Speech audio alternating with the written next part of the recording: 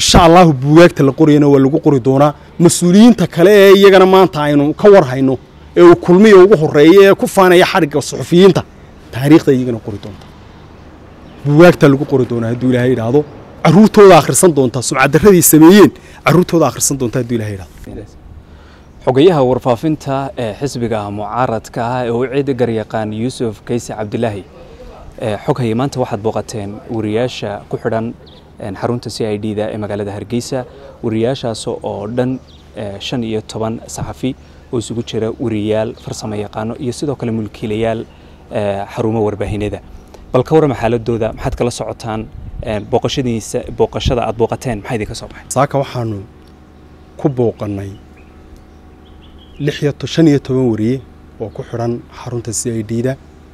Oo aanu doonaynay inaan u kuur gallo xaaladooda caafimaad habdhaqanka loola dhaqmay ciidamada booliisku la dhaqmeen halkay ku xidhan yihiin ayaanu doonay inaanu soo aragno.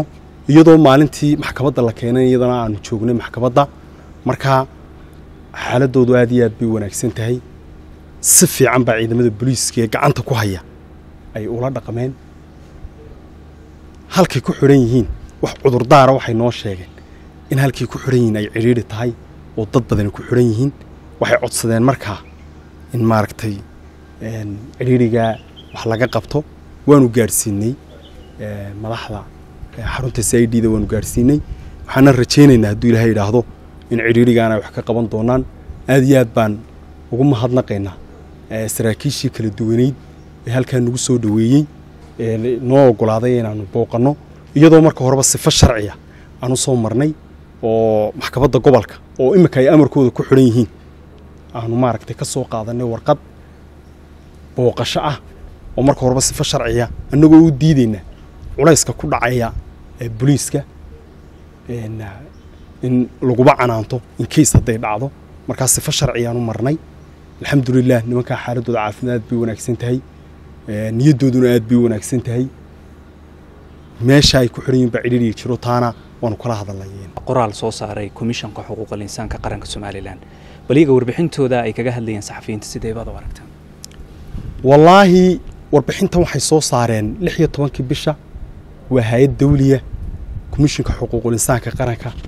Arrintaasi anugu imanka xilka saxaafadda. Ugu yaraan in badan baan hayey in badan baa wariye la xidhaan u soo taagnaa in badan baa wariye tirdi loo geystay aan u soo taagnaa. Arrinta laakiin maanta dhacday. Intii somalilan jirtay weligeed may dhicin in suxufi sagaal cisho siday riboodkoodan inoogu sheegaan komishinka xuquuqlisaanku qaranku.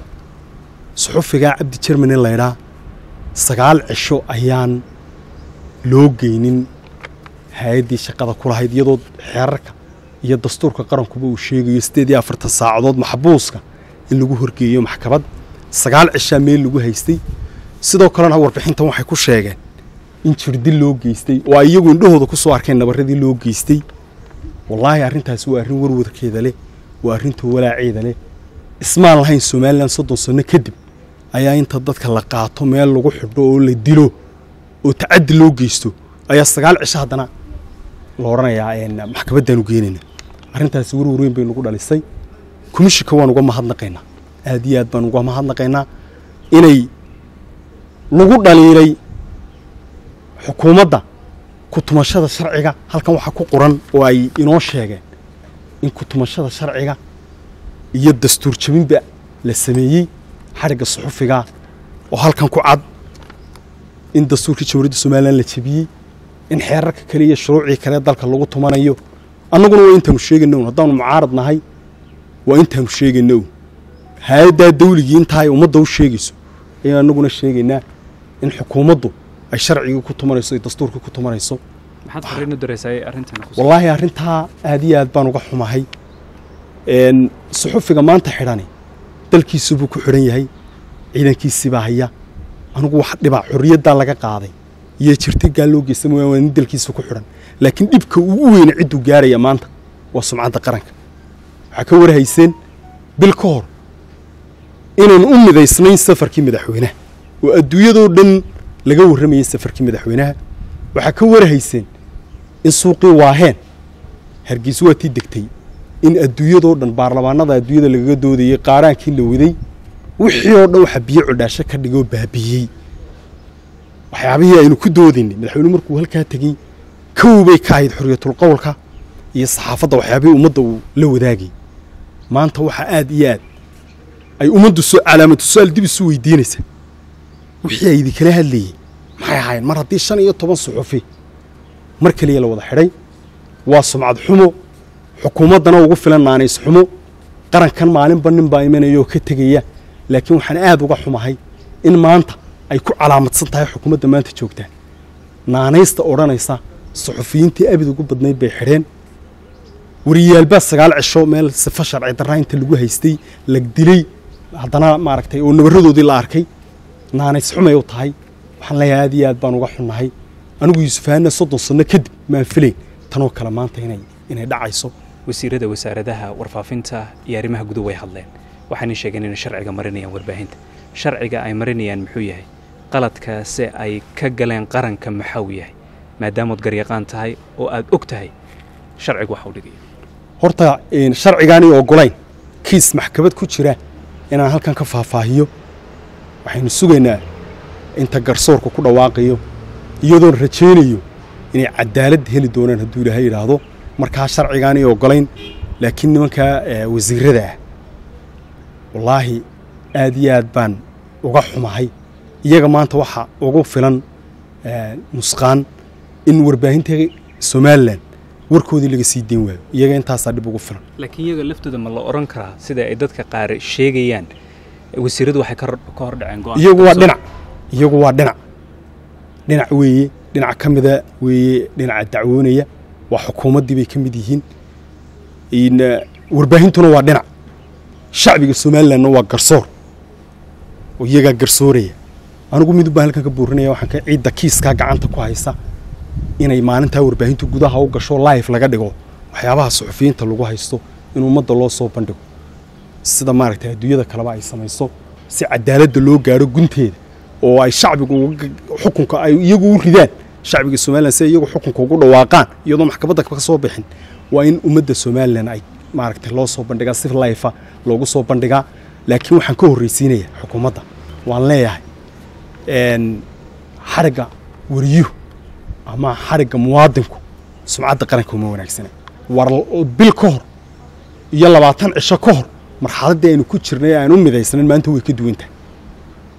Cidda muraayaddaa burka la dhacaysana waa xukuumadda ee sumcaddii qaranka ee aynu wada lahayn burka la dhacaysa. Marka waxaan leeyahay xukuumadda waxba suxufiga yeeli mayso wakaa dalkiisabuu ku xidhan yahay laakiin cidda ugu weyne nabarku gaarhaya waa sumcadda qaranka weeye. Warbaahintu waa ciddii waa laambad cidday naga dhigtay laambadda ka baxaysa geeska afrika. Warbaahintu waa cidda maanta codkeenna gaarsiisay gubashadii nagu dhacday. Warbaahinta somalilan waa muraayaddii aynu isku arkaynay adduunyaduna naga arkaysay inaad saa u fahantaan baa laga rabaa. Marka aad iyo aad baan uga xunahay maanta. Anigoo maanta haddana laba wiig ka horna si kale u hadlayey maantana sidan u hadlaya. Wallaahi aad iyo aad baan uga xumahay. Marnaba maan filayn. Tanoo kale inay dhacayso waxaanan leeyahay. Markhaati waxaa idinku filan oo aydaan ka galgalan. Hay'addaa dawligii warqadda ay soo saartay. Laba wax bay sheegtay. In suxufigaa jardil loo geystay iyo in dastuurka iyo shuruucdii dalka xukuumadda ku tubanayso. Annaguna labadiiun baanu sheegaynaa tanaa idinku markhaati furaysa. Waxaan idin leeyahay ku soo noqda shuruucda iyo sumcadda qaranka ku soo noqda. Dalkeenna maalin walba waa ogtiin oo buwaag baa la qoraa. Waxaa kaloon halkan doonaya inaan ka dhiirigeliyo mas'uuliyiinta xilalka loo magacaaba.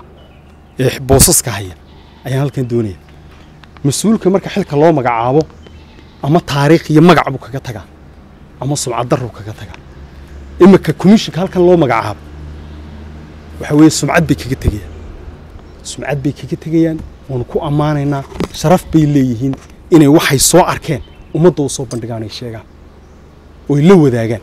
Mas'uulka kale xilka hayana taariikhdaana xusi doonta mas'uuliyiintan insha allahu buugaagta la qorayana waa lagu qori doonaa mas'uuliyiinta kale ee iyagana maanta aynu ka warhayno ee uu kulmiya ugu horreeya ee ku faanaya xarigga suxufiyiinta taariikhda iyagana qori doonta.